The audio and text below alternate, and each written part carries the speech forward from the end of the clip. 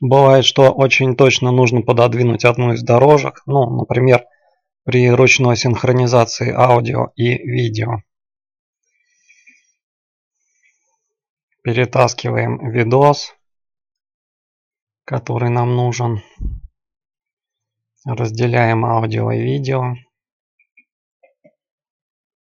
Отменить связь. Вот теперь аудио можно таскать.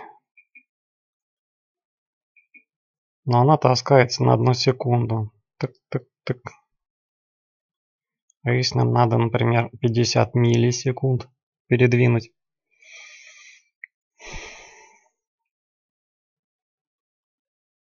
Кажется, что можно вот так растянуть масштаб сильнее.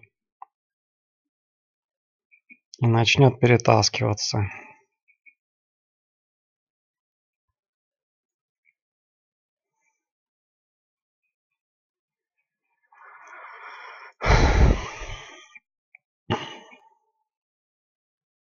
Ведь все равно прыгает. Пам, пам, пам, пам, пам.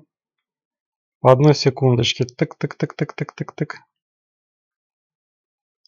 Не получается, да? Ах ты. Даже по 5 секунд он прыгает. Для этого правой кнопкой показать единицы времени аудио. И теперь уже, вон, видали, десятитысячные, стотысячные секунды аж видно. Он перемещаются.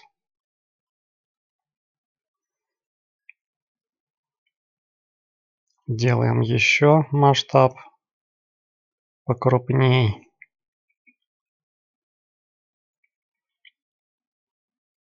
Это я колесиком мыши кручу подводите вот на скролл на нижний колесиком крутите вот она масштаб укрупняется. И вот смотрите теперь при более крупном масштабе она уже вон, более мелкая градация.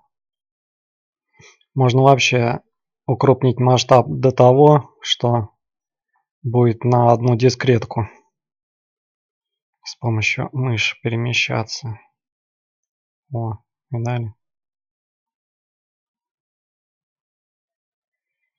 Ну и все, всем по... А, еще про версию 2019 года.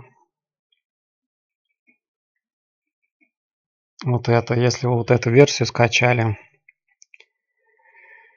13.039 репак байкролик, то в ней